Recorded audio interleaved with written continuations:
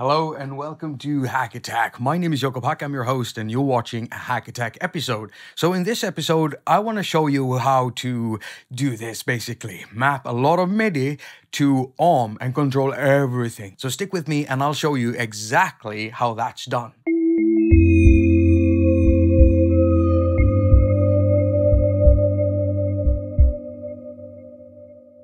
We've got an empty instance of AUM, and so we're starting off clean and we're gonna add a channel. Now we're only gonna use one channel strip because the process of adding MIDI CC controllers to the channel strip is the same and it doesn't matter how many channels you're using, the process is the same. Now I'm using a Korg nanoKONTROL Studio, but you can use any MIDI controller that sends out MIDI CC data.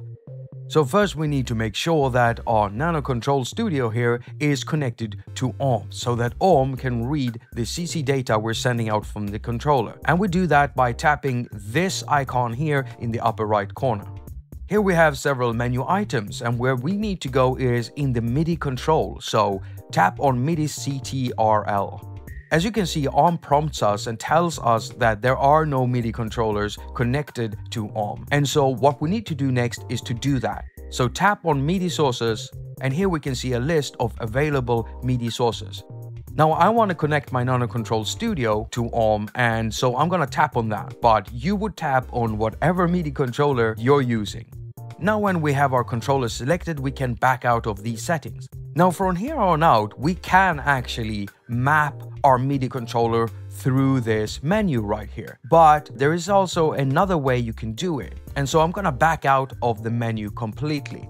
Yes, so you can map everything through this menu, but the reason to why I don't want to do it here is because it's easier if you do it through the channel itself, because then you know exactly what channel you're working on, and I, just find it more manageable. The thing is though that if you do have transport buttons on your controller and you want to map those, then you do have to map them through this menu right here. And now that you know that, let me show you how the mapping is done. So what we do next is to go down here and tap on the channel name.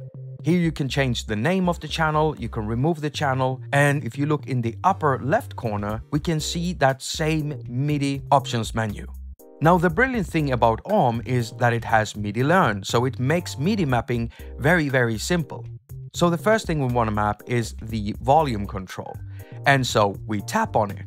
When you tap on it, it brings up a little pop-up menu and next we need to find the learn button and it's right there. So you tap the learn and then you go to your MIDI controller and you tweak and there it goes. Now I'm gonna jump out of this menu and show you that this is actually working. We are now controlling the volume fader of this channel.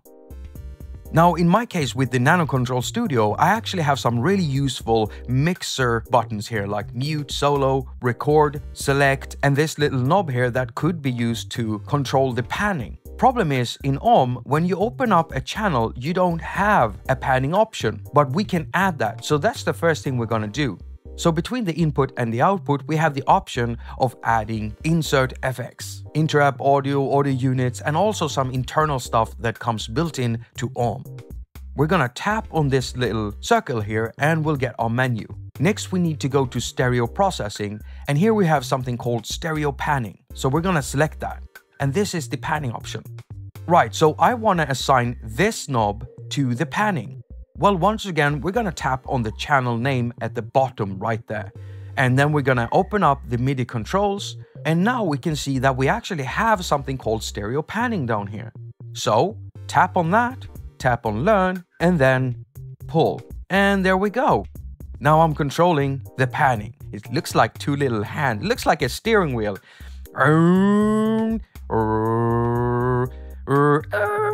Now, I sure wasn't born like this, and my mom didn't drop me on my head. Yes, I asked, and she said, Son, you've been pretty much your whole life. Thanks, mom. I love you. I love you so much. So I don't want to repeat myself, showing you how to MIDI learn the mute, the recording, the solo functions, because it works in the same way as we've been doing this whole time. You know, assigning the panning, assigning the volume fader. It's the same process. And the thing is, it pretty much works the same way with audio unit extensions too. And even though I said I wasn't going to repeat myself, So we're gonna add an audio unit, but right now our only insert slot between the input and the audio output is full. So what we do is we tap and hold on the line, drag upwards, and now we can see a plus one sign. Press on the plus one sign and now we have another slot.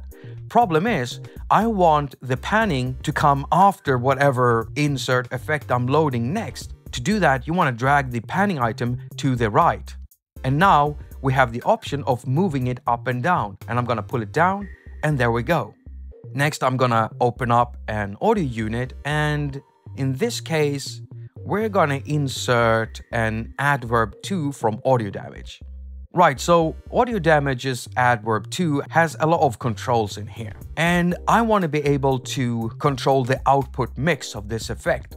I'm gonna close this down and we're gonna go down to the channel name again, tap that, open up the MIDI settings, and if we look down here, we can see that it says ADverb 2 parameters.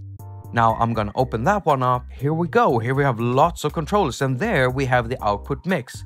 I'm gonna tap that, press learn, and for this I'm gonna use this knob here and there we go. And now I am controlling the output mix.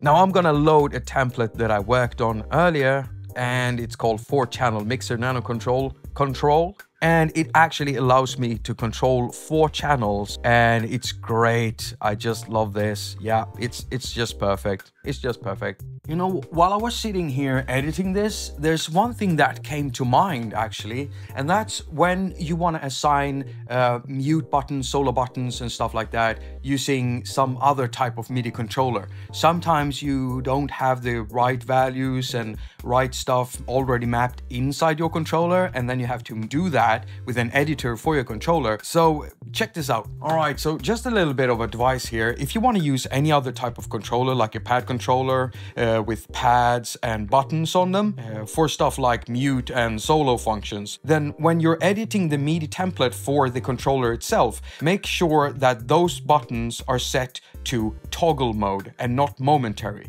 Because momentary works like this. When you press and hold it down, it will send out the max value. So it's basically like turning something on.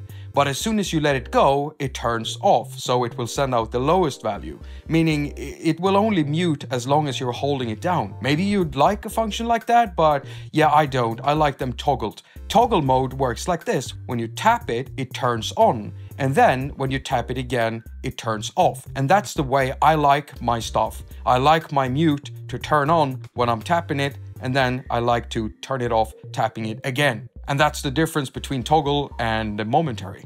Thank you so much for watching. Now, if you feel uh, feel if you feel like this video helped you in some way, uh, if you feel like um, this video was good, uh, you want to help support the channel, then why not press the thumbs up because that really, really helps with the ratings here on YouTube.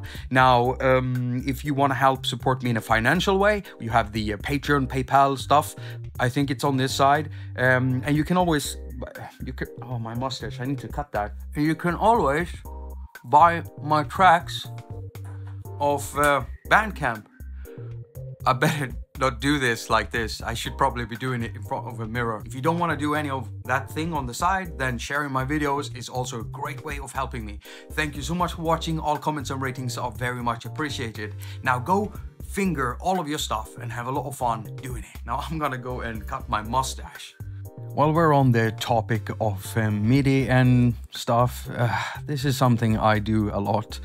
I make MIDI templates for my, my stuff. I've owned a lot of hardware synthesizers in my time, uh, in my time, uh, in my life, and some of them were smaller synthesizers with uh, less knobs and buttons on them, and so you kind of had to use MIDI to really fully, uh, you know, control everything in, inside the synthesizer. And so MIDI templates is something I've been working with a lot. And here's one of the biggest ones I've made ever so far. I've been spending like two or 300 hours on this one.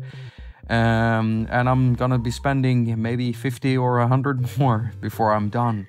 And you can see all these parameters here. Well, I have to find a way of fitting all of these into my MIDI template. And uh, yeah, it's been a real hassle. It's gonna be nice when it's done.